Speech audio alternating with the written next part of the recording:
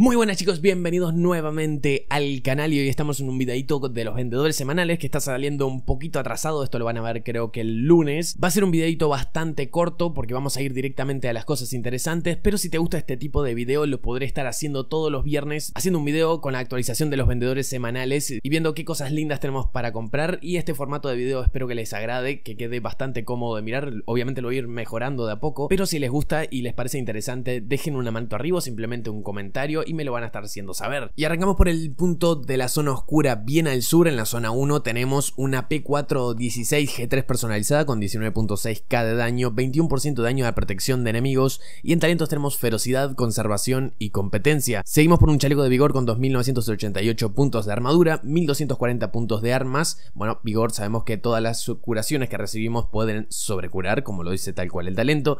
Tenemos nivel de protección, daño a elites y capacidad de munición. Lo sigue un supresor Tyrant con 650 de golpe crítico, distancia óptima y daño crítico. También tenemos atributo secundario, amenaza reducida. Y por último tenemos una modificación prototipo de rendimiento con 750% de duración de torreta. Vamos por el punto de control zona oscura 1 oeste. Acá 47M militar con 20% de daño a protección de enemigos, 24.7k de daño, está bastante bastante elevada. Tenemos capacidad, conservación y violencia. Y en este mismo punto de control también tenemos una máscara táctica con 1000 puntos de armadura está en electrónica, que es algo que se lo puede recalibrar. Tenemos el talento refuerzo que aumenta la curación un 30% cuando estamos en el último segmento de salud. En atributos principales tenemos salud y atributos secundarios daño a protección de enemigos. En la zona 3 oeste tenemos una Marine Super 90 con 111k de daño, tenemos 300% de aturdimiento, los talentos son conservación, letalidad y violencia. Un cargador aumentado con 108% de tamaño de cargador, 5% de tiempo de recarga y 4% de daño crítico. No está del todo bien este cargador podríamos el daño crítico cambiarlo tranquilamente por uno que tenga mm,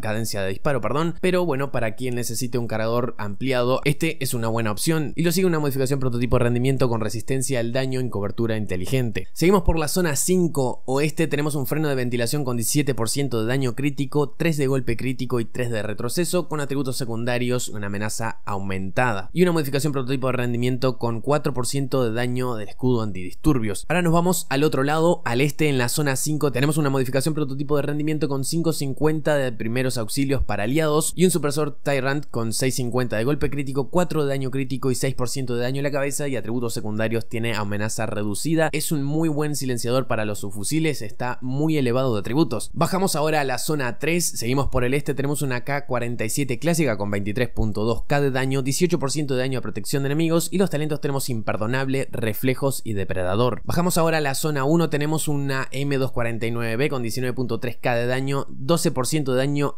extra a enemigos fuera de cobertura. Tenemos de talentos habilidad, preparación y aptitud. Sé que es una ametralladora ligera que no se la utiliza demasiado, pero tenemos el talento, preparación y aptitud que está bien para hacer un alpha bridge con ametralladoras ligeras y dejar esta de secundaria. En este mismo punto también tenemos una modificación prototipo de rendimiento con 5% de velocidad de curación de estación de apoyo y un supresor Tyrant con 750 de golpe crítico, 6% de daño a la cabeza y 2% de precisión. Y en atributos secundarios tenemos 42% de amenaza reducida. Y ahora pasamos a dar una mirada a los vendedores dentro de la zona oscura. Vamos con el vendedor de la biblioteca. Tenemos un chaleco de robustez con 2991 puntos de armadura. Está en aguante Robustez lo que hace es aumentar nuestra protección en cobertura un 10%. Es un chaleco bastante bueno para el PvE, para farmear bastante. Tenemos protección al cubrirnos, daños elites y experiencia por muerte. Seguimos con el vendedor de arma que está al sur de la plaza. Tenemos un ACRE mejorado con 19.2k de daño, 20% de daño a protección de enemigos. Y en talentos tenemos destrucción, concentrado y competencia. Lo sigue una MG5 de infantería con 15.9k de daño, 14% de daño extra al enemigo fuera de cobertura. Y en talentos tenemos imperdonable, preparación y capacidad. El vendedor de modificaciones de equipo que está al norte de Arc Plaza. Tenemos una modificación prototipo de arma con 244 puntos de protección y 266 puntos de armas.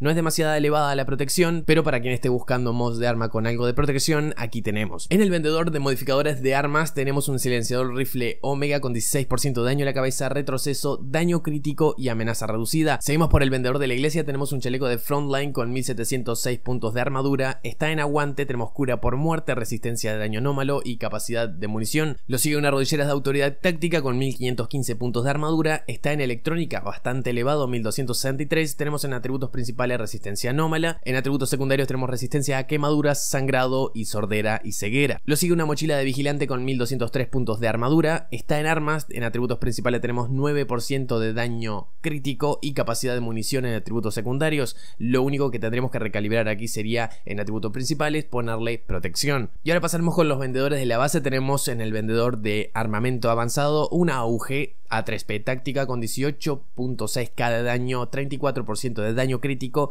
y en los talentos tenemos imperdonable, reflejos y mando. Para quien quiera hacer un alpha bridge con esta arma de secundaria vendría muy bien recalibrando el tercer talento. En la entrada de la base de operaciones, el vendedor de armas tenemos una Vector 45 ACP táctico con 17.8k de daño, 38% de daño crítico, talentos imperdonable, violencia y destrucción. Es otra arma que está bastante bien para usarla de secundaria en un alpha bridge con sus fusiles. El vendedor de equipo especial en la terminal tenemos unos guantes de frontline con 904 puntos de armadura, 1272 puntos de aguante, está a tope daño de ametralladora ligera, cura por muerte y daño a elites. También hay unos guantes de sombra de Banshee con 947 puntos de armadura, 1195 puntos de armas, atributos principales tenemos 6% de daño crítico, daño de rifle de asalto y daño a elites. Tenemos una mochila credo del cazador con 2150 puntos de armadura, 1259 puntos de armas, 900 nivel de protección y capacidad de munición en 56%. Y por último tenemos unos guantes de reclamación con 926 puntos de armadura, 1204 puntos de armas, daño a elites, daño de rifle de largo alcance y cura por muerte. Voy a estar mostrando solamente los ítems que nos pueden interesar, que nos pueden servir y que tienen como máximo una cosa a recalibrar. El resto de ítems lo dejé un poco apartados. Obviamente no está mal darle una mirada por sí mismos, pero la mayoría de los ítems tienen más de dos cosas para recalibrar o simplemente no están en el meta actualmente. Y si quieren que siga sacando este tipo de videos así, háganmelo saber, dejen una manito arriba o simplemente un comentario. Me van a estar ayudando muchísimo. Y si quieres estar pendiente del próximo contenido que voy a estar sacando en el canal,